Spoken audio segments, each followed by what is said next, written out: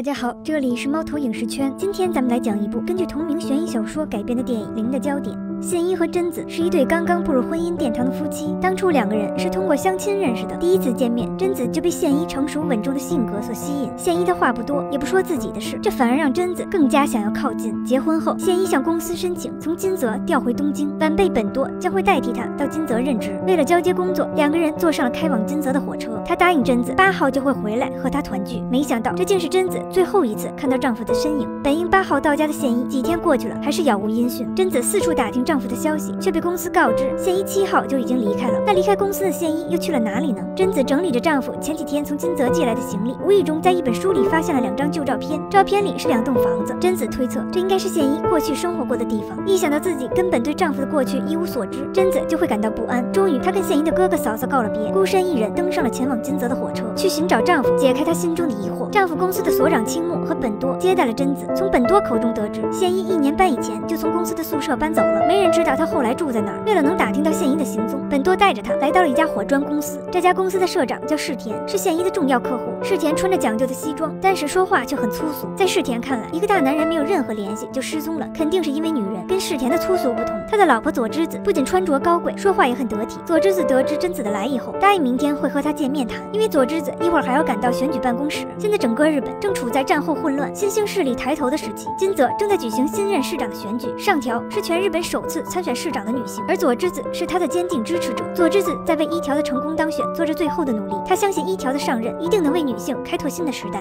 第二天，贞子跟着佐之子来到了他的家，车刚开进院子，贞子竟发现这个房子跟显一照片中的一模一样。显一至今已经失踪一周了，但贞子从佐之子口中也没有得到什么有用的线索。她只是说六号宪一和丈夫在这里吃了告别晚餐，之后宪一去了哪里，她也不得而知。晚上，贞子和妈妈通电话，得知原来宪一以前在利川做过巡警，为什么没听他提过呢？贞子发现自己果然对丈夫一无所知。几天后，宪一的哥哥来到金泽和贞子会合，答应他一定会把宪一找回来。但是没两天，哥哥就出事儿了，他在一家旅馆被人毒死。目击者称，有一个穿着红色大衣、戴着墨镜和头巾的女人从包间里跑出来。经过警方调查，发现哥哥并不像他说的那样是出差后过来的，而是早就跟公司请了假，在见到贞子的前一天就入住了金泽的旅店。哥哥为什么要说谎呢？他那一天在金泽又做了什么呢？这时，贞子在警局见到了来为选举跑腿的佐之子。回家的路上，本多透露了一个新的线索。他从店员口中得知，那个穿着美国红色大衣的女人是个美女，不像是金泽的女人，倒有点像潘潘女郎。潘潘女郎就是过去以美国士兵为对象陪他们过夜的女子。下一步就要顺着这个线索继续查下去。哥哥的死让贞子陷入了绝望，大概宪一也是凶多吉少。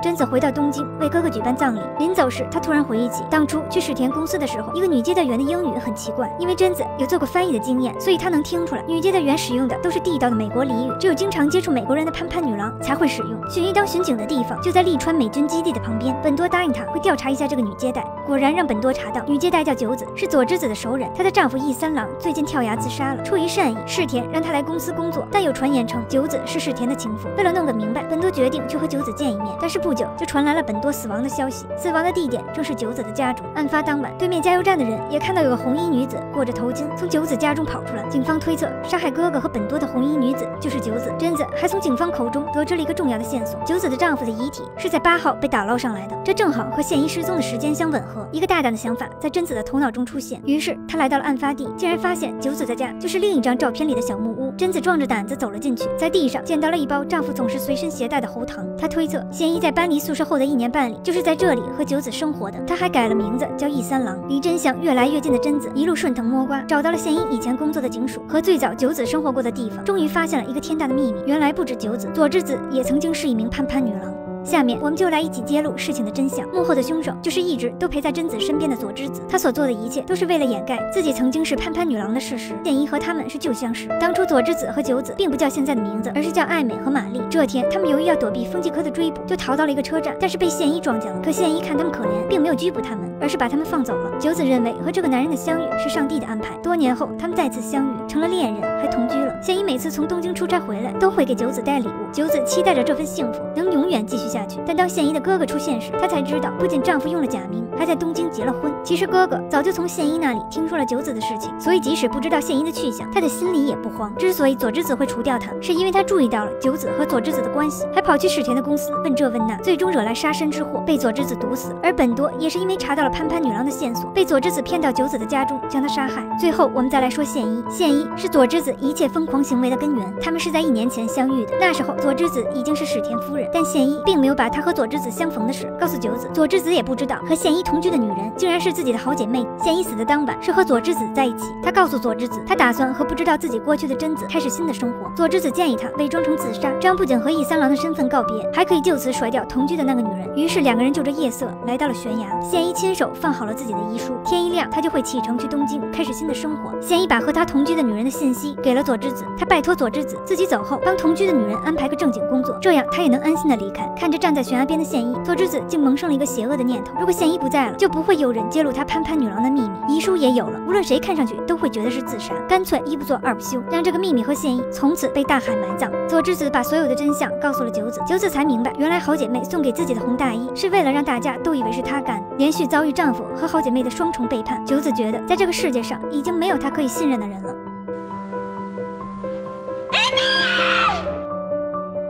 九子的死让佐之子受到了很大的打击，他发了疯一样回到了家中，边砸碎弟弟画室的玻璃，边喊着艾米的名字。玻璃的碎片把他的脸划得到处都是口子，已经血肉模糊。第二天，九子的尸体还是被发现了。从现场的情况看，警方确定他是自杀，但没想到世田为了不让警方再追查下去，竟替佐之子顶下了所有的罪名，承认是他和情人九子合谋杀害了他的丈夫义三郎，以及发现他们关系的哥哥和本多。故事的最后，佐之子并没有因为逃脱了法律的制裁而得到解脱，在一条赢得了选举的胜利，成为了日本首位女市长后，她投海自尽。